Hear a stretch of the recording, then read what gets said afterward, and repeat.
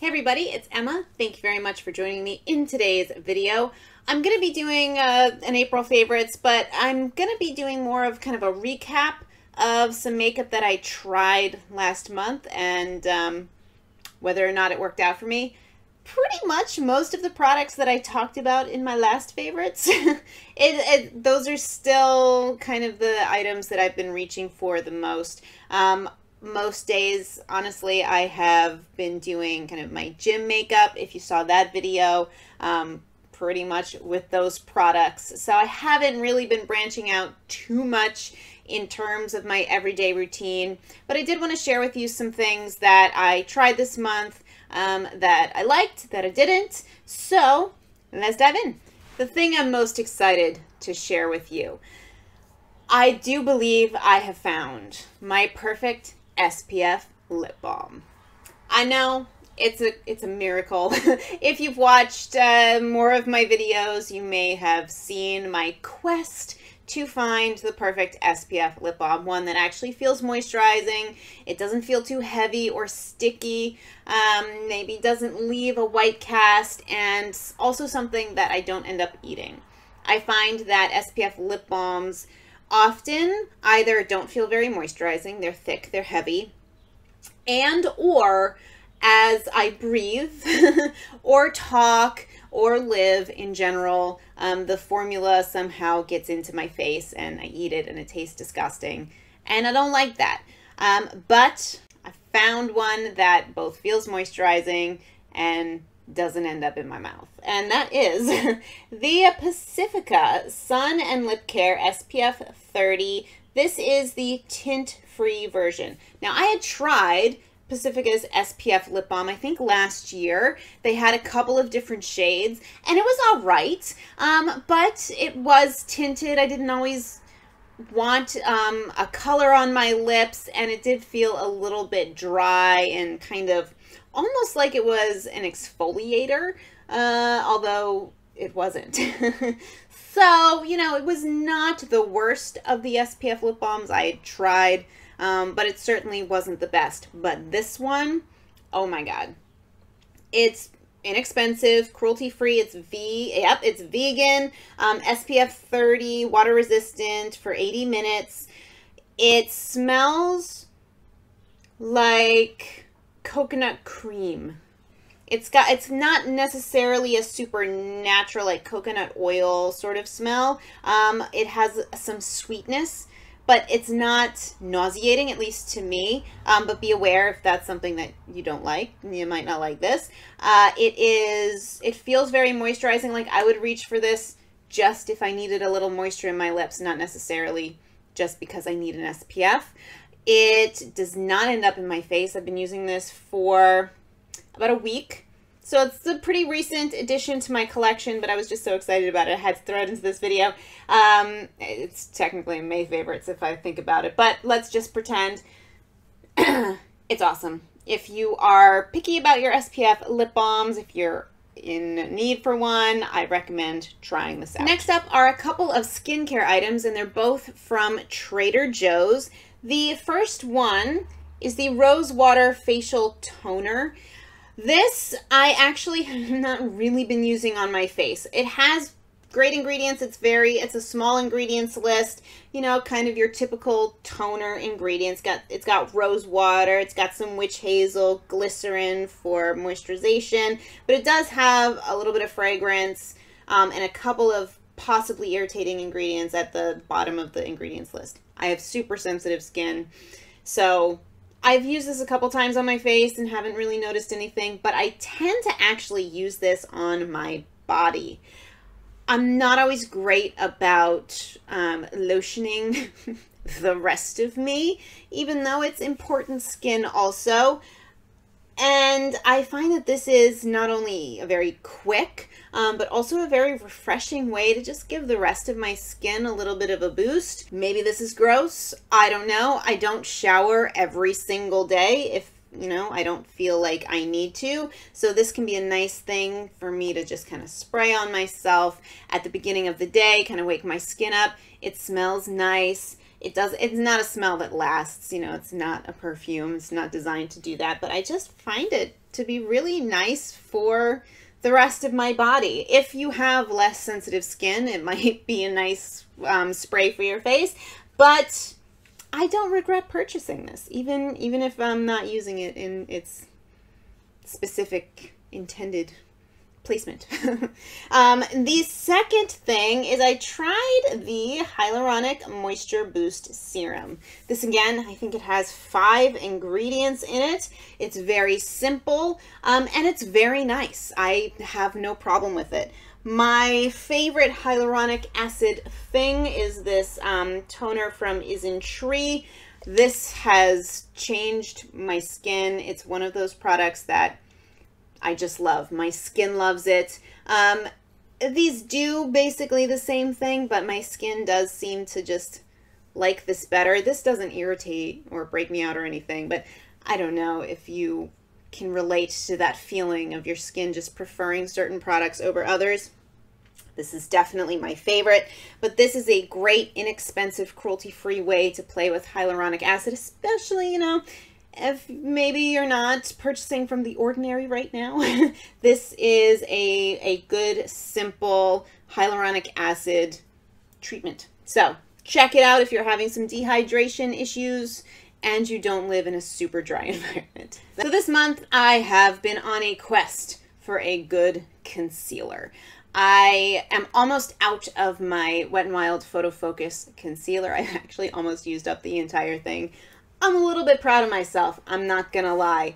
And I like it. It's okay. I would buy it again um, and not be too upset about it, but I would love something that doesn't crease.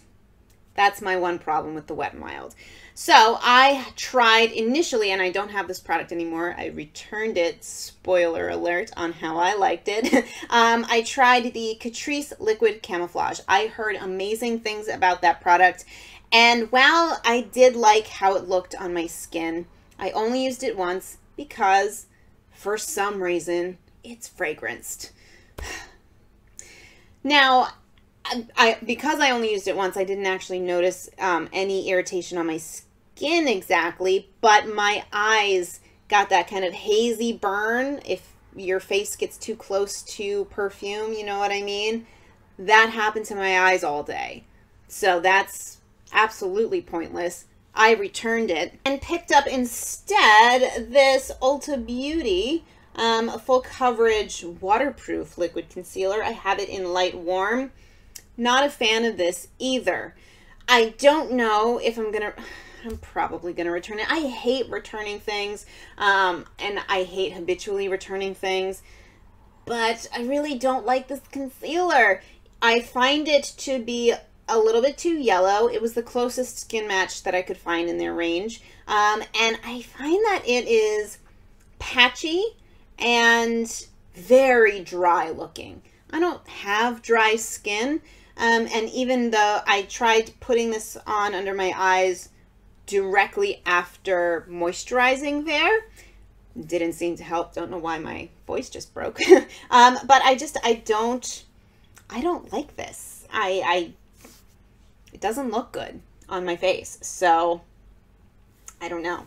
I might have to bring it back. I have been actually doing some some better research on concealers and I've heard some good things about the Flower Beauty concealer and also the number seven. So if you have any suggestions for um, a good under eye concealer that doesn't crease, if it could possibly be at the drugstore, that would be great. Um, something not too emollient. I don't have super dry under eyes, but certainly not very dry. I, I have no interest in the Shape Tape. I know that's a very dry formula, and it also, I believe, has fragrance in it. Not my jam. Um, but if you have any suggestions, I am open. A win for me, however, this month is this NYX Epic Ink liner. I have been on the hunt for a good standard liquid black eyeliner. Um, Phyrra Nyx recommended this in her cruelty-free dupes video, um, and she said this is a pretty good dupe for Kat Von D's Trooper eyeliner, which is something that I've always wanted to try but couldn't justify actually purchasing because if I can find one that's cheaper, that's great. I really like it. I'm wearing it today. I mean, my my eyeliner usually looks wonky when I wear it like this because my eyelids are wonky. But I find that this is super easy to use. It's a very pigmented formula. The tip is great. It is nice and thin. Um, and it's, you know, it's flexible without being too wishy-washy. It's kind of that perfect, it's the perfect eyeliner tip in my opinion. Um, it lasts amazingly. It's not impossible to get off of your face at the end of the day though so it's just an all-around really great eyeliner. And then last but not least of the kind of newer things that I picked up in April is this uh, mascara from Essence. This is the hashtag lashes of the day. Just a stupid name. Or I'm just I'm getting old folks either way I really love this mascara it has a beautiful brush, in my opinion. It is small but dense. It's got a little bit of a um, kind of an hourglass shape. I find it very easy to use. I am wearing it today. It is not a lengthening mascara and it's not necessarily a separating mascara. So it's not going to give you kind of long fluttery lashes.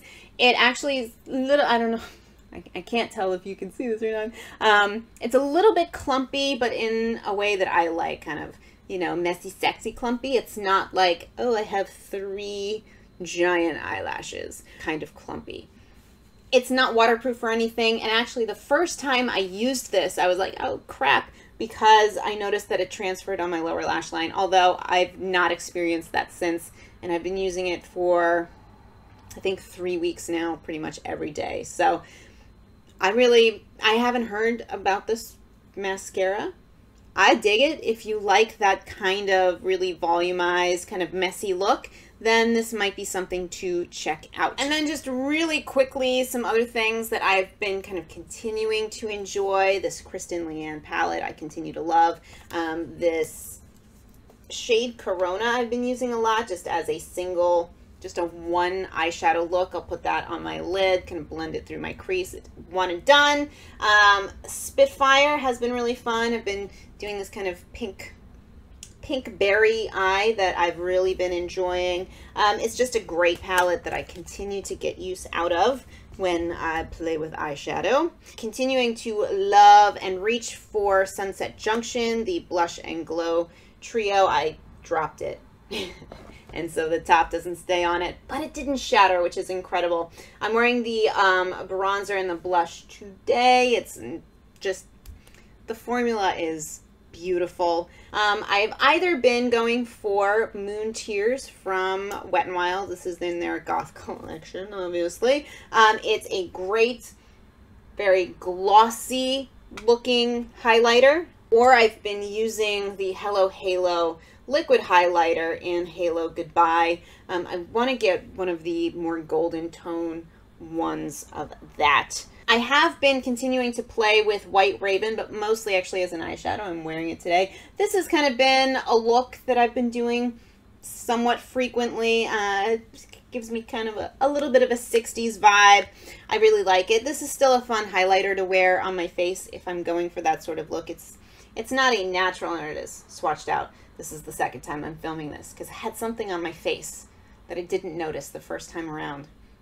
That's annoying. But it doesn't have the most natural look on the skin, so I only wear this as a highlighter if I'm doing a, a full look where it doesn't look out of place, if that makes any sense. And other than that, I continue to dive ever deeper into a slightly unhealthy obsession with Critical Role. Um, so if any of you are fellow critters, let's chat about that. Or if you are into D&D, fantasy, gaming, or just entertaining and enjoyable people, I recommend checking it out. Get ready to have hundreds of hours of your life taken, but you'll enjoy every minute of it. And I, like I said, if any of you are already fans, I would love to chat about it. Other than that, life is good. I hope life is good for you. If you have any questions, comments, suggestions, recommendations, let me know what you've been loving this month. And I appreciate you taking the time to watch. I'll see you later. Bye, guys.